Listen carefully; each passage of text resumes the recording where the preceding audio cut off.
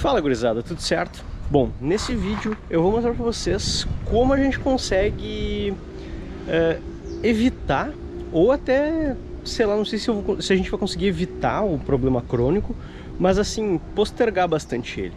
É, bom, para quem acompanha os vídeos aqui, ou para quem tem Street Triple, tá ligado que tem um problema crônico que acontece nelas, que é quebrar os parafusos do quadro.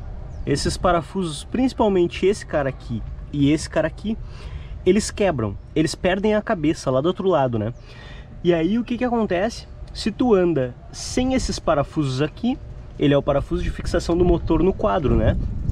Se tu anda sem esses parafusos, começa a trabalhar o quadro e geralmente ele quebra aqui nessa, nessa solda, né? Uh, tanto de um lado quanto do outro. E aí, cara, o, o mais louco é o seguinte, o que, que acontece, né? Esse quadro dessa moto, ela na Street Triple, esse quadro é usado na Daytona, na, 67, na 765RS, na 765S. Bom, todas as Street Triple utilizam esse quadro. É, as Daytona utilizam esse quadro, mas eu vejo, uh, e também eu já vi no vídeo do Madeira, que a maior recorrência é na 675, não sei dizer o porquê. Mas aí o que, que acontece? Geralmente a galera vai, troca o parafuso, né? Compra um parafuso novo na concessionária, dá o torque e continua usando. Provavelmente vai quebrar de novo. Foi o meu caso. Quem acompanha aí o, o, o canal, né? Viu que uns seis meses atrás eu postei um vídeo mostrando e falando sobre esse problema crônico. E aí agora aconteceu de novo mais ou menos uns sete meses depois de ter quebrado o parafuso. Aí, cara, o que, que acontece? Eu ia mandar fazer um parafuso, ia mandar fazer um parafuso um material melhor. Só que aí eu fui ver, o material já é bom, é, é, se eu não me engano ele é um aço inox de ótima qualidade. Então assim, o problema não é o parafuso ser ruim, o parafuso é bom. É, esse eixo aqui, né, eles, eles são de ótima qualidade. Afinal, pô, é Triumph, né, cara? Ele, ele é um parafuso de boa qualidade. Olha o que acontece aqui, ó. Tá vendo aqui, ó? Esse aqui é o parafuso, aqui é a parte da rosca, aqui é onde a cabeça quebrou. É a marca da... Se eu pegar bem na câmera, aí ele, ele quebra aqui na cabeça.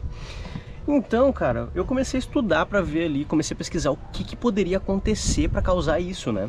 E, bom, começa que a gente tem aqui no Brasil umas estradas muito, ah, não só estradas, né? As ruas são muito esburacadas, tem muito desnível e tal, isso pode ajudar o, a trepidação do motor também, né, o, a vibração do motor pode ajudar, mas tem uma coisa bem específica que eu vi que na minha estava é, fora do, do recomendado e aí eu comecei a pesquisar sobre isso e aí eu vi que talvez pudesse ser uh, um outro problema, não um parafuso. O que, que acontece? Primeiro, é, aqui ó, tanto nesse cara aqui quanto nesse cara aqui, deixa eu até ver se, se nesse aqui também, tá, nesse aqui não parece ter, mas aqui tem o parafuso, aqui tem a porca, tem o quadro e por trás tem um espaçador, mais ou menos desse tamanho assim, ó, vai um espaçador ali. E aí o parafuso ele passa dentro do quadro, dentro desse espaçador, dentro do motor, sai lá do outro lado no quadro também. O que que acontece? Esse espaçador, no caso da minha moto, ele estava completamente solto no intervalo entre o quadro, o motor, ele estava completamente solto. Porém, tanto aqui quanto aqui, uh, no quadro, o quadro tem rosca e entra um, regu um regulador, entra um, um cara que regula a folga entre o espaçador e o quadro. Então assim, é uma... Eu vou botar uma foto aí para vocês verem tem uma, uma cabeça específica que seria parecido com uma chave, na verdade é, é, parecido com aquelas aqueles parafusos que precisa de chave castelo, mas na verdade não é castelo. Eu vou deixar a foto da, da chave específica, que o que, que acontece? É, tu, sem o parafuso e sem o eixo, tu regula a folga desse espaçador. Então tu vem com essa chave específica regula e dá um torque específico. Então tem um torque específico no regulador aqui dentro. O que, que eu desconfio que aconteça que seja o motivo de acontecer tanto problema é, como foi o caso da minha? Cara, a gente sabe que aqui no Brasil é um pouco complicado de tu fazer a revisão sempre na concessionária. E muitas vezes, a maioria das vezes, quando tu vai no mecânico, quanto muito o cara usa um torquímetro para apertar os parafusos da, da, da, moto, né? Mas eu acho que nem é esse o problema, não é? O problema não é torque, o problema que eu acho que acontece aqui é o seguinte, como os mecânicos ou não utilizam torquímetro ou não têm o conhecimento que tem essa regulagem do espaçador ali, é, os caras simplesmente não regulam. E aí o que, que acontece? Quando quebra, vai lá, troca o parafuso, bota o parafuso ali novo, dá o torque específico, mas o espaçador ele não está regulado. O que, que acontece? Fica com o jogo ali, é, o parafuso não fica completamente firme, né? Porque o espaçador está solto. E aí acaba que com a vibração ele volta a afrouxar, o parafuso volta a trabalhar e o parafuso quebra. Então, uma coisa que eu, uma coisa que eu fiz foi o seguinte, eu levei na concessionária, uh, levei a moto na concessionária, lá eles cobram uma hora de trabalho para enfim, só para botar o parafuso no lugar e dar o torque específico. Só que aí, o que que acontece, né? Eu levei para os caras fazerem. Quando ele me falou o valor, eu fiquei meio, meio puto assim, porque tipo, pô, é, ele me cobrou na verdade meia hora, que, de, que seria 125 reais. Uma hora completa seria 250. E aí quando ele me cobrou, eu fiquei meio puto, pô, o cara vai me cobrar 125 pila só pra botar o parafuso ali da torque. Só que na verdade o que, que acontece? O que, que eles fizeram, que daí foi o, pra mim foi o, o, o que na verdade faria diferença pra esse parafuso não voltar a quebrar. Cara, eles revisaram o torque de todos os parafusos de fixação. Uh, tem um aqui, se eu não me engano tem outro na frente, agora não vou lembrar. Ou é pra... Aqui, ó. Tem um aqui, tem, tem esse parafuso aqui, esse aqui, esse aqui, esse aqui e esse aqui. São esses quatro pontos de fixação no quadro, né? Eles revisam o torque de todos os parafusos, eles revisam a folga desse espaçador aqui e refazem o torque certinho de todos os parafusos. Então, ah, uma coisa que eu vi é o seguinte, que eles me falaram lá, cara, quando o parafuso quebrar, provavelmente o que está acontecendo é o seguinte, ou os espaçadores estão fora do lugar, ou o torque dos outros parafusos de fixação no motor não estão uh, no valor adequado. Então, toda vez que quebrar o parafuso, o que tem que ser feito é revisar todo o torque dos parafusos e os espaçadores. Uma coisa que pode acontecer também é esse cara aqui, ele quebrar no meio, não sair para fora e tu achar que ele está no lugar. E aí tu só vai descobrir isso quando tu for dar o torque, que daí não, tu não vai conseguir dar o torque nele porque ele vai girar, né? Então assim, às vezes esse cara aqui quebra e tu nem sabe. E aí o motor também tá trabalhando aqui no quadro e forçando o outro parafuso de fixação. Esses aqui, ó, eles não quebram porque são parafusos mesmo, eles são mais ou menos desse tamanho aqui. Já esses dois aqui, eles são eixos assim, ó são eixos que passam no meio do motor inteiro. Eles cruzam de lado a lado o quadro, né? Aqui não, aqui é um parafuso que vai até só aqui um pedaço, aqui também, lá do outro lado a mesma coisa.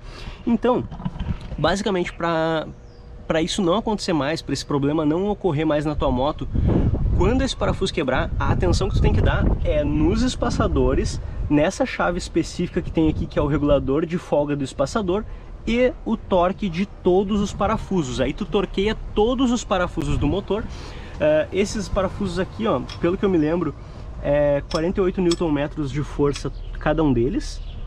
E o espaçador é 10 Nm de força. Aí o, o, espaçador aqui é 10 N com a chave específica, né? Tem uma chave específica que o cara bota aqui, daí na cabeça da chave tu bota o torquímetro e gira. E aqui é, são torques, né? Uh, chave torques. E é basicamente isso. Para isso não acontecer mais, então tu tem que fazer isso, é revisar o torque de todos os parafusos e também o espaçador e o torque dos espaçadores. E aí tu faz isso e teoricamente não é mais para acontecer.